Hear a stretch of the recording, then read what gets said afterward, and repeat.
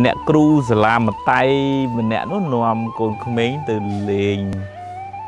ទឹកសមុទ្រណាលេងខ្សាច់នៅមាត់សមុទ្រអញ្ចឹងវាលេងពូនអីអីចឹងទៅហើយធម្មតាក្មេងវាមកឈូសវាមកអីចឹងវាខឹងវាវាយគ្នាវាយគ្នាទៅស្រែកយំឪពុកក្មេងហ្នឹងនៅក្បែរនឹងដែរហើយគាត់កាន់ការងារធំមានផ្កាយពាក់លើស្មាអីចឹងទៅ ហើយគាត់ឃើញកូនគេវាយកូនគាត់មងមកមងមកគាត់ទៅផ្ទះកូនគេនឹងម៉ាំងម៉ាំងនោះស្រែកយាយយាយវាជុំដៃមនុស្សចាស់វាឈឺអ្នកគ្រូមកខាត់អេពូកុំវាយក្មេងអីចឹងវាយអ្នកគ្រូទៀតវានឹកឃើញថាយើងវាធំដែរគេវាយកូនអញអញវាយវិញហើយ វាយដោយនឹងអ្នកគ្រូអឺរឿងហ្នឹងវាមិនចប់ត្រឹមនឹងអីចុងក្រោយវាលឺតទៅគេប្តឹងទៅដកជ្រុះ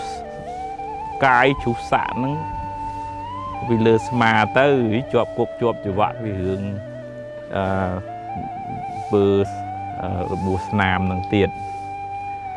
អាហ្នឹងបើគិតទៅរឿងហ្នឹងវាទូចតាចសោះក្មេងវាយគ្នាប៉ុន្តែដោយសារកំហឹងហើយដោយសារអាចថាមានអ្នកក្នុងខ្លួនអាងអាងបុនអាងស័កទៅបំរើកំហឹងមួយផ្លែតសុកចិត្តឈូសយុះឈូសស័កពីស្មាហើយជាប់គុកជាប់ច្រវាក់ទៅទៀតចឹងចឹងពេលខ្លះអឺបើមានរឿង កំអាលនឹងបញ្ចេញកំហឹងមងម៉ាំងអីភ្លាមពីព្រោះបើបញ្ចេញទៅវាមានផលមិនល្អហើយមានវិបដិសារីជាខាងក្រោយធម្មតាក្មេងវាវាយគ្នាចឹងហើយហើយខុសត្រូវអីនិយាយប្រាប់ស្ដីថាទៅក្មេងវាយគ្នាវាឆាប់បាត់យំប៉ុន្តែមនុស្សចាស់វាយគ្នានេះនេះមិនងាយទេចឹងតើឡាអឺ មានស្មារតីកំណត់ដឹងថាអូអញខឹងហើយអញខឹងហើយចឹងអឺតែមានខន្តីខន្តីឯហ្នឹងហើយរឿងវាមិនមែនចេះតែបានអីដូចចិត្តគ្រប់រឿងទេ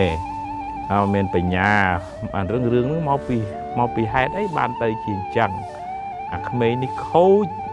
គ្រូអត់ចេះបដៅទៅបដៅទៅប្រាប់ទៅអីចឹងទៅហើយអាហ្នឹងវា មានដំណោះស្រាយមួយល្អល្អជាងវាយទាំងកូនគេវាយទាំងគ្រូទៀតហ្នឹងអាហ្នឹងកុំឲ្យយើងខ្លាយជាជនរងគ្រោះរបស់កំហឹងពេលកំហឹងកើតឡើងយើងត្រូវមានសតិត្រួតពិនិត្យមើលកំហឹងនឹងវិញហើយអឺព្យាយាមអឺរកវិធីសាស្ត្រអឺកាត់បន្ថយកំហឹងនឹងបន្តិចបន្តិចហើយអាចនឹងរកអឺ